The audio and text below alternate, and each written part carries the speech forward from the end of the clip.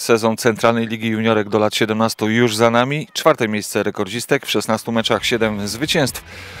Przy trzech remisach, 6 porażkach, 34 punkty na koncie, a bilans bramkowy 46 do 33. To suche liczby, trenerze. A sezon w Twojej ocenie?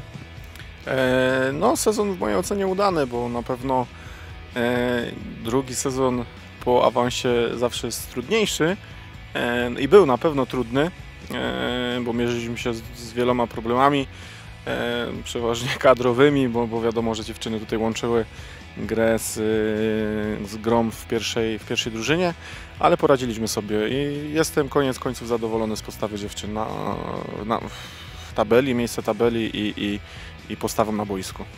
Pogdybajmy przez chwilę. Gdyby w zespole rekordu do lat 17 na stałe występowały reprezentantki kraju Iga Witkowska, Julia Gutowska i Magda Piekarska, co byłoby wówczas? E, hmm. No myślę, że na pewno byśmy się bili do końca o wejście do najlepszej dwójki w naszej e, tabeli.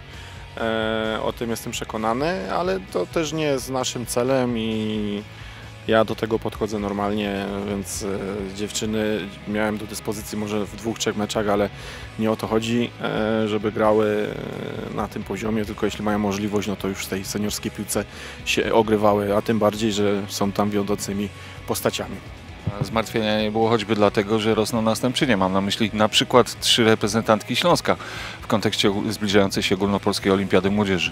Tak, tak, zdecydowanie. Ja też zapowiedziałem przed sezonem tym najmłodszym dziewczynom, e, Nikoli Madejczyk czy, czy Julce Sikorze, że będą występować priorytetowo w U17 i dla nich jest to z korzyścią, dla nas też, y, a tym bardziej po sezonie mogę powiedzieć, że to były dwie wiodące mm, osoby w naszym zespole, więc y, ja jestem bardzo zadowolony z takiego obrotu spraw.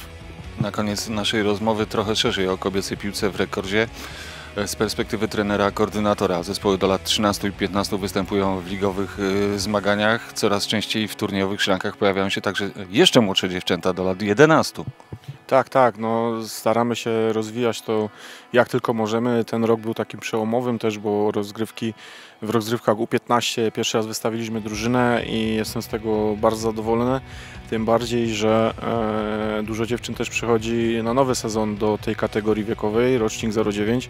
No i tutaj też na pewno będziemy troszkę inaczej do tego podchodzić, że będziemy walczyć o awans do celiotki też w tym roczniku. E, A jeśli chodzi o te młodsze kategorie wiekowe, no to też e, cieszy to, że tych dziewczyn jest coraz więcej i tutaj akcje promocyjne zdają efekt i będziemy to robić cały czas, żeby ta piłka kobieca w rekordzie w Bielsku ogólnie była na wysokim poziomie. A na ten moment udanych wakacji. Dziękuję serdecznie.